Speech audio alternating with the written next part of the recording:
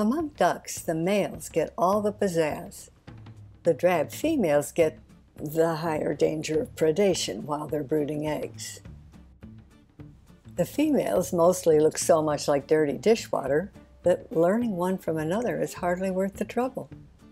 Just know them by the company they keep. The female wood duck, though, is at least easy to recognize because the large white teardrop etched over her eye is unmistakable. Pete Dunne, in his field guide, observes that her grayish flanks, dappled with white, suggest sunlight playing across the forest floor.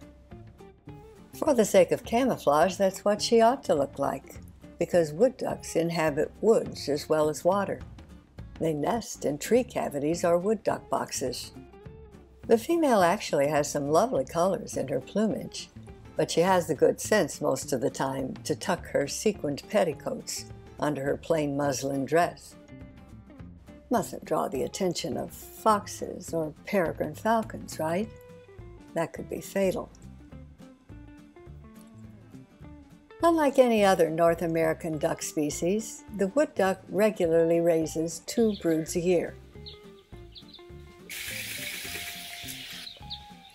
In fact, I'm wondering if the duck on top of the box is from this female's first brood.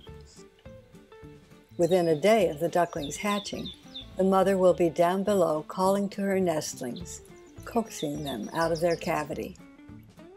And whether the jump be onto water as in this case, or onto land from even as high as 50 feet up, and maybe a mile from water besides, the ducklings leap.